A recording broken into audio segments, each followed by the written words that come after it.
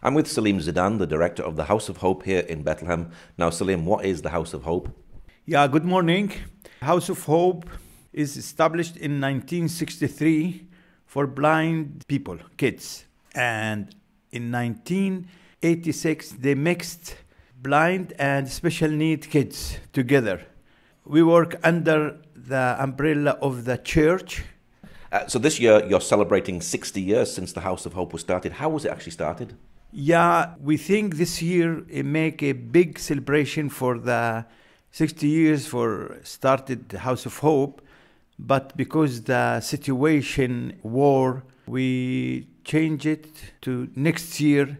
We hope next year is a peace in all the world, not in Palestine. And we need we need to pray to make a good celebration next year. Mm. And it was Auntie May who started the house, wasn't it? Yeah, Sister May, she started the House of Hope. She rented a house in, in Beit Jala and she take care with the many blind girls. And she pray for a own house. And God give him this house where we live now. And she's believer. She's a good lady. I think about that. Thanks God for Miss May now, the amazing thing was she was actually blind as well, wasn't she? Yeah, yeah, she's blind. She, yeah. she, she's from Lod, near Tel Aviv. Yeah. yeah, she born there.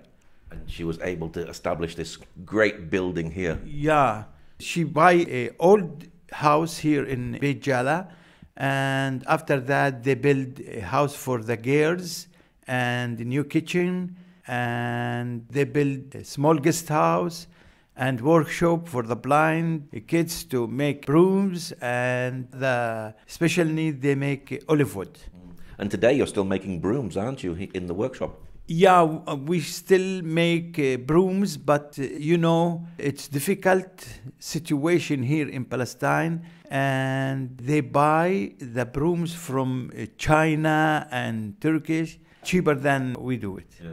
How many residents do you look after here today, and are they all blind? Now we have 12 kids and four people stay here, employee stay here blind. Miss Violet, Ahmad, Sami, and Murad, and 12 uh, kids. Two people who remember Auntie May is Miss Violet and Sami Badra. Let's find out what they have to say about Auntie May. I'm with Miss Violet, who is a teacher here at the House of Hope, and she's also blind herself. When did you first come to the House of Hope, Miss Violet? I came to the House of Hope in the 70s, I came to study. I finished high school at the Swedish Good Shepherd School. And then after that, I went to Bethlehem University. I had my degree in English literature, minor in education. And I've been teaching at the House of Hope since 1993, teaching the blind boys. But I used to always come and help with the blind boys before, after graduating from university. Wow. So do you remember Auntie May and yeah. do you have some stories about her? Yeah, of course. I came to the House of Hope. Auntie May was here and she is the one who started the House of Hope. She started with blind boys. They used to live at the House of Hope. They used to rent places, and, and then the Lord blessed the work and gave them this property where we live now. And Auntie May always told us many stories about how the Lord was faithful to them he was always providing for them in times of need. Many times they used to be in great need, and always the Lord was faithful. She used to always tell us, The Lord will not leave you nor forsake you. So just trust the Lord. And she always trusted the Lord. And one of her favorite hymns was what a friend we have in Jesus. He used to always tell us He is your best friend in times of need. So trust the Lord, and He will not leave you nor forsake you. So she was really a very godly woman. She was faithful. She used to always trust the Lord and always she told the people who used to help her at the House of Hope never refuse any blind person who comes to stay at the House of Hope. No, and that was really her vision to help the blind and to have a home for them. So I really see she was really very faithful to the work for the blind here at House of Hope. Was this something that was very unusual for a blind person here in Bethlehem to start a home for blind children? I think it was before uh, she started, there was a home for the blind girls. It was uh, where the Bible College now is. It used to be a school for the blind for the girls, and then uh, she started for the boys. But would you expect a blind person to be able to do this? Was this something that was unusual in the community? It was, yeah, really amazing because, yeah, she had uh, uh, Michael, who was a director later on, uh, and his mother she used to help her as a family helped her a lot in you know running the work. And it was wonderful because you know many of the people who used to come and visit especially volunteers used to appreciate her work and used to like to support her and encourage the work so she was a great role model for Yeah. vision and for prayer. Yeah, yeah, exactly. She was really our man of prayer. She always used to have devotion with us in- every evening for everybody, the children, the adults. We used to have many blind boys who were at high school. Some of them went to college. Some of the ladies used to work in local factories here in the area and always used to provide everything for them, eh, a place to stay and food and everything. And she used to pray for us every evening and used to go even to her room, talk with her, chat. You feel like she's a mother. Not really uh, like it. We never felt there was a, uh, like she's a boss. Or, no, we always felt she's a mother. She was so nice and so loving and caring. Okay, well, Miss Violet, thank you very much for sharing. You're welcome. I'm with Sami Badra here at the House of Hope. Now, Sami, when did you come to work at the House of Hope? I came to work here uh, 1990. I started work here A- And how old were you when you came to work here? about 26, something like that. Yeah. And did you get the chance to meet Auntie May? Of course, yeah, yeah. And what kind of lady was she? Well, I can say that she's a wonderful lady, understandable lady, very, very, and all people here loved her, you know. Uh, was she like a mother to all the people here? Yes, yes, and uh, she wasn't, you know, that one who judged people quickly, you know, and uh, she always gave chances to people, even if she was blind lady, you know, she was giving chances to people, and her faith is a really big faith, you know, big. I learned from her a lot. And can you tell me like a couple of stories about what she was like and what it was like working with her? Well, I can tell that one time the the home that was in 1991, something like that. The home was very in need, and no money, and the war, uh, the Gulf War, and everything blocked here, and the home was in need, and the electric company was wanted to, to cut off the electric because no money. The telephone and the water company also they no water, no money and always she has a faith and she told us to come to her room every morning to pray for the home and we used to come all to to pray for one hour something like that and one day she said to me Sami i went to her room and she said Sami can you go out look around maybe somebody will come you know uh, you will come so I said, okay. I, I went out here. I went to see if there's anything, no strange people to come or something. And then I, I sit down on the entrance of the home.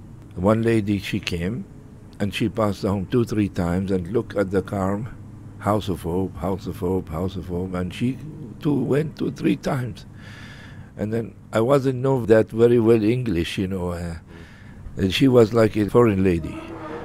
I said to her, something, yes, what you want, something like that, you know. She told me, what is this home like that? I couldn't talk to her. I brought her down to the room where they pray. You know, I said to her, welcome, come in. And then she came in. They told her about the home and she was happy to hear about it. And then in one time that I saw that in my eyes, she put her hand in her bag. She took a check. She handed it to Auntie May, and Auntie May handed it to the director of the home that time, uh, Michael David, and he read it for her. The money was enough and more than what we need, you know. Wow. And uh, that's her faith, you know. So uh, that's one of the stories. The other stories, because she has a big faith, and that's I taste that in my life, you know. Because every morning she used to call me, come up six, half past six in the morning, pray with her, me and her. Mm. Who I am, I am little man, little one. So to ask me to come and pray with her, I used to come up to see her half past six in the morning for five, ten minutes to pray with her. And and what happened in that time that we need workers, we don't have money. And always the director, when there is no money, they don't bring workers, you know. Mm. Because we used to have 50 kids here, 40 kids here, and boys and girls. And we need somebody to help with the old ladies, with the people here. We used to have around 90 people who come and live and come every day to the home, you see. And then the director went to see her with me. I, I went with him. And he told her we need we need workers, but we don't have money, you know. And she said to him, "Bring uh, workers, bring workers." She said, "But no money, no money, you know, no. Bring uh, workers, bring workers." And he brought two workers to work here. After a month, it's like a miracle, you know. And God blessed the home. The money was there. No money was there. Mm. And we used to have volunteers, and volunteers helped with the money, you know, also. They write to their churches, they write to their, you know, that's why it's important to, to have volunteers, you know, for the home and to have Christian people to live and to work here. Did Auntie May change people's lives, and did you see the residents come to the Lord as well? Some of them come to the Lord. Yeah, she actually she helped me change my life, me personally, you know. I, I was like a new Christian, you know, new believer, you know, and uh, still wasn't know about the faith. What is the faith, you know? And that she helped me personal, you know, and she helped volunteers, faith. Volunteers used to come here, they learned from her, and they loved her. And the kids, the boys like Jafar and Isan, they loved her, these boys. And every day she used to bring them to her home, to her room, to sing for her and to sing with her. She loved their singing. Yeah. Okay, Sami, thank you very much. God bless you, Paul. Thank you. And now back to Salim. Now, Salim, what is the average day like at the House of Hope for the residents? We start at 8 with devotion. We songs, we speak in, in the Bible and we pray and after that the students go to the classes. At 10 we have break, snack. They return at 10:30 to the classes. At 12:30 there is a lunch until 1 and return back to the classes until 2. After that they have activities, stay in the hall, they see TV and at 6:30 we have we eat supper and they sleep. And they still have a connection with their families as well, don't they? They still get the chance to go home. Yeah, kids in the end of every month they go home to see the families for 3 days but now they stay here three months because the way is closed because the war. All the kids stay here for three months. But they're going home tomorrow, aren't they, for, for Christmas yeah, time? Yeah, we hope tomorrow to go to to see the families. If the ways is, is open, it's difficult to go, but you know this is Christmas time. The staff need to to have a rest, to sit with the family, and the student like to sit with the family too. Mm. Now, Christmas is coming soon. Do they love Christmas? Yeah, here in House of Hope, we live a Christmas. We start to sing Christmas songs in the 1st of December, and we pray for peace, and we pray for the Jesus Christ to make a peace in our land in this time, in Christmas time. And we make a Christmas tree. And uh, today we have a gifts for the student, Christmas gifts, and we make a small party. And tomorrow we go home. I bet they're very excited. Yeah. At this time of the year, will you hear them singing the Christmas carols round the home? Yeah, yeah, yeah. Every day in the morning, noon, during the day, we sing Christmas carol, Christmas songs, and we are happy. We are happy because uh, Jesus is our salvation, and we pray. Again, I tell you, we pray for peace, to live for peace. All the nations in all the world, we like peace. Now, in Bethlehem, the Christian families, are they going to be celebrating Christmas this year, or is it a very difficult time because of the war? I think most of the families is not celebrating Christmas for two reasons. First, there is many killed for small uh, in the war for child, and the other things is most of the people is not work. We don't have money. They don't go work to Israel. The Palestinian Authority don't give the salaries for the, the employees. Uh, no money and everything is high. The the food, vegetables, food, everything, petrol, solar, everything is high. Electricity, water, and the people don't have money. So, has the war really affected Bethlehem as well as Gaza? Yeah, checkpoint is closed between Jerusalem and Bethlehem, and Bethlehem area is lived by the tourists. We have many hotels, we have many souvenirs, we have many restaurants for the tourism, and I think 75 people from Bethlehem work in the hotels and restaurants and souvenirs, and now it's stopped. That's 75%. Yeah, Now, you said the checkpoint is closed. Why does the checkpoint affect Bethlehem? Yeah, checkpoint is closed because the Israelis didn't give permission to the worker to go to Israel to work. Mm. It's closed. So, you have many, many workers in Bethlehem go and work in Israel, so they Yeah, haven't worked yeah, for a long time. Yeah, many, many, many people w- go to work in, in Israel, mm. and now is, is stay home. Mm. And Now, you're part of the Scouts. Will the Scouts be celebrating as normal this year on the 24th of December? Usually they march in the city with their musical instruments. Is that going to be happening this year? No, yesterday I talked with the, some of the leaders in Bethlehem, scout leaders in Bethlehem. After tomorrow, in Friday, there is a meeting for the leaders in Bethlehem area. And they think this year the scout is celebrate, but without the music. Just walk from Old Bethlehem to Nativity Church.